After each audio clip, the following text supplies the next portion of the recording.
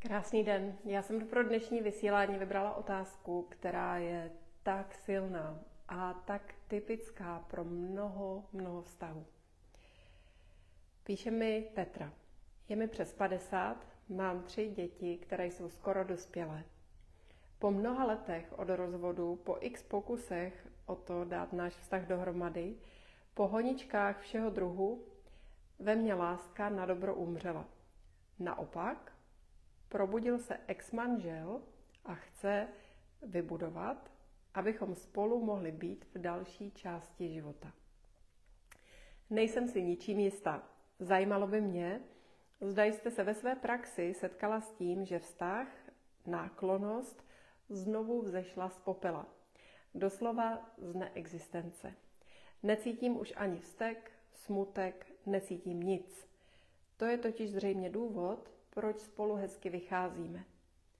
Dalo by se dokonce říct, že jsme přátelé.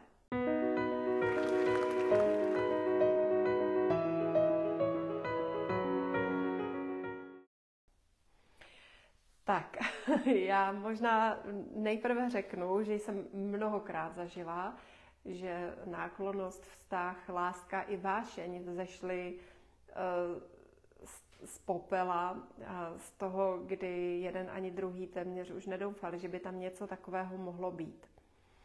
Ještě než se vrhnu na odpověď, tak musím říct, že my procházíme vztahově velmi náročné období, nebo životně velmi náročné období. Pokud máte zažívat v životě nějaké turbulence, tak je to pravděpodobně teď, v těchto dnech, v těchto týdnech, v těchto měsících.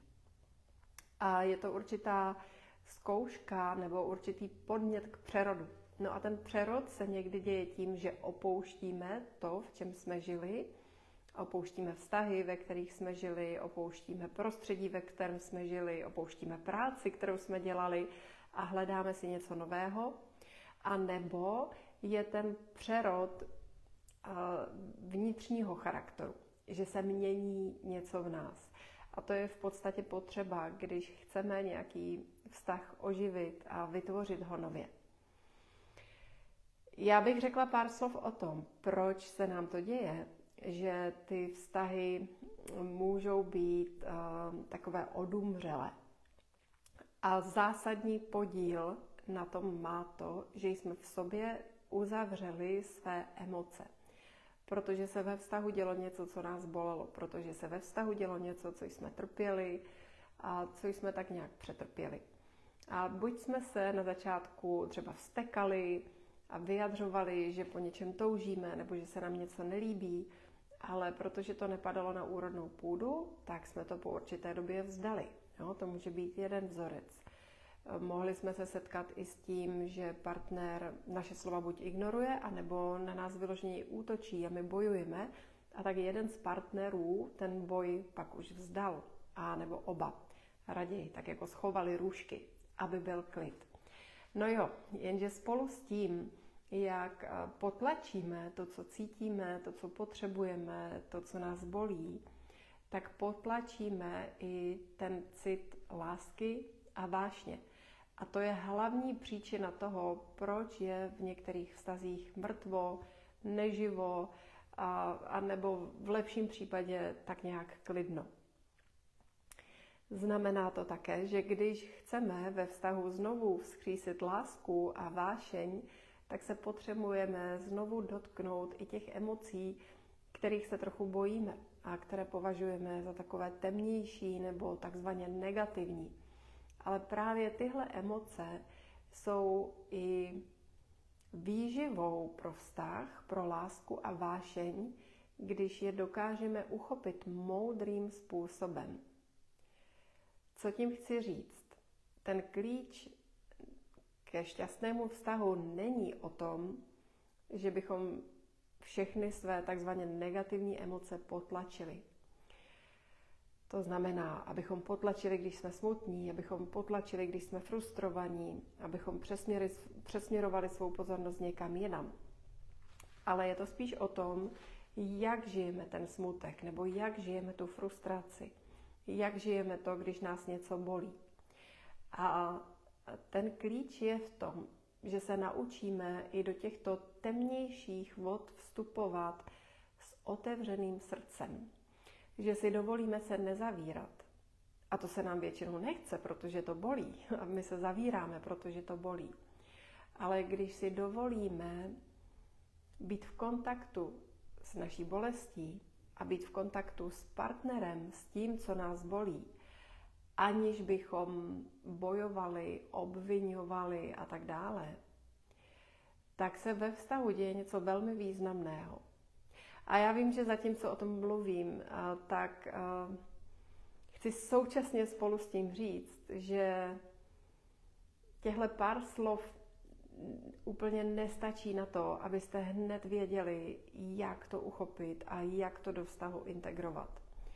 A nechtějte po sobě, aby tím, že si poslechnete v pár minutách, jak na to, vám tohle hned šlo uvést do života. Musím říct, že je to jedna z nejnáročnějších věcí, dokud nepochopíte, jak se to dělá.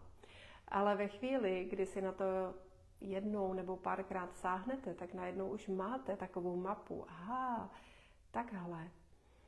Ale znovu říkám, nechce se nám do toho, protože ve chvílích toho otevírání se, ve chvílích toho otevřeného srdce se cítíme velmi zranitelní, velmi bezbraní.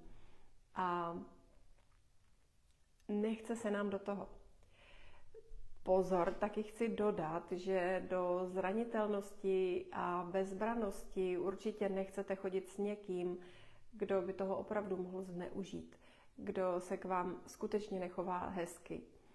A eh, tak jako mm, jsem za těch 20 let, kdy učím lidi a podporuju lidi, aby byli šťastní ve svých životech a vztazích, tak ráda podporuju, aby se minimálně pokusili o záchranu vztahu, o transformaci vztahu, tak tohle pochopitelně neplatí pro vztahy, které jsou toxické, když žijete s někým, kdo vám vědomě ubližuje, kdo vás vědomě manipuluje a podobně. Ale pokud žijete s někým, kdo je na vás třeba, jo, tu a tam ošklivý, protože sám se trápí, jo, taková ta taková ta lidská vlastnost, že někdy jsme zkrátka nepříjemní a nerudní i na naše nejbližší, na partnera, kterého milujeme, na děti, které milujeme. A tak když je to v takové normě naší běžné lidskosti, brblavosti, rozzlobení se, tak to jsou stavy, se kterými opravdu stojí za to pracovat a transformovat je neuzavírat se, když se děje něco dramatického, silného, neuzavírat se do vzteku a stažení a odpojení, ale zkusit si v těch chvílích zapojit lásku. No a tak eh, ta moje odpověď na to, jestli má smysl se pokoušet eh, vzkřísit takový vztah i po letech, jestli vím, že to jde, za mě jednoznačně ano, a v podstatě tím nemáte moc co ztratit, když se pokusíte. Můžete se něco nového naučit a v lepším případě zjistíte, že vám to funguje. Protože to znovu oživení vztahu i po mnoha letech je spojené s tím, že se třeba zaboříme i do míst, které v našem životě a v našem vztahu byly bolavé, ale díky tomu to uzdravujeme a znovu nacházíme cestu k sobě.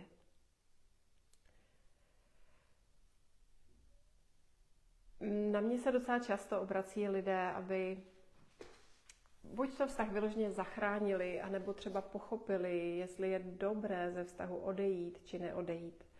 A kdybych k tomu něco měla říct, tak kdy je dobré odejít, um, je, když nám ten druhý partner ubližuje. Um, a když se pokusíte vzkřísit, uh, zachránit, zlepšit vztah, který pro vás už vypadá jako velmi nefunkční, tak se současně spoustu věcí učíte. Jednak můžete být někdy překvapení, eh, co všechno v tom vztahu je, kolik je tam lásky, kolik je tam citu, kolik je tam náboje, kolik je tam vášně. A i kdyby to nevyšlo, tak se většinou na té cestě naučíte spoustu věcí o sobě i o tom druhém. A jdete do další fáze svého života, takový už mnohem zralejší. Protože když ze vztahu utíkáme ve smyslu, hmm, tohle je nepohodlné, tohle je bolavé, s tím se nechci konfrontovat, do toho nechci hrabat a zkrátka odejdete ze vztahu, který nebyl toxický, jenom byl nějakým způsobem nepohodlný, bolavý.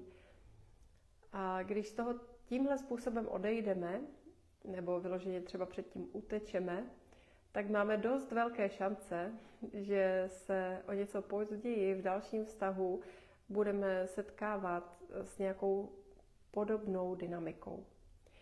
A proto stojí za to každou krizi vzít i jako příležitost. Čímž vám nechci říct, že byste se měli snažit za každou cenu zachránit každý vztah. Někdy se můžete sejít ve vztahových konstelacích, které jsou velmi komplikované a bolavé a třeba se vám s tím dalším vztahem uleví. Ale také velmi často vídám to, že pokud ze vztahu utíkáme, protože se nechceme konfrontovat s něčím, co v tom vztahu je zkrátka bolavé, tak je dost možné, že něco podobného potkáme ve vztahu dalším také.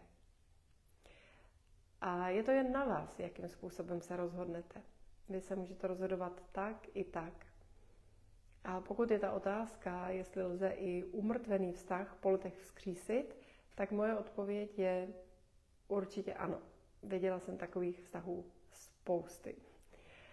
Stane se to s každým vztahem? Ne. Záleží na vás dvou, záleží na přístupu obou, záleží na vašich preferencích. Ale pokud vás zajímá, jestli tam ta možnost je, tak ta možnost tam určitě, určitě je. A já jsem byla svědkem mnoha a mnoha takových transformací. A pokud vás zajímá, jak na to a chcete se v tom nechat podpořit, tak bych vám řekla, že asi nejlepší cesta je, vydejte se s námi na retreat pro páry, víkendový kurz, který skutečně může od základu transformovat, nakopnout, podpořit váš vztah, anebo ho zkrátka jenom spevnit a vylepšit do budoucna. A pokud eh, nejste v situaci, že byste mohli přijet na živý seminář fyzicky, tak můžete vstoupit do online kurzu Tajemství šťastného vztahu, kde získáte spoustu teoretické i praktické inspirace do toho, jak váš vztah utvářet lépe, ať už na úrovni práce s emocemi, intimity a milování, komunikace, a mnoha dalších aspektů praktického partnerského života. thank you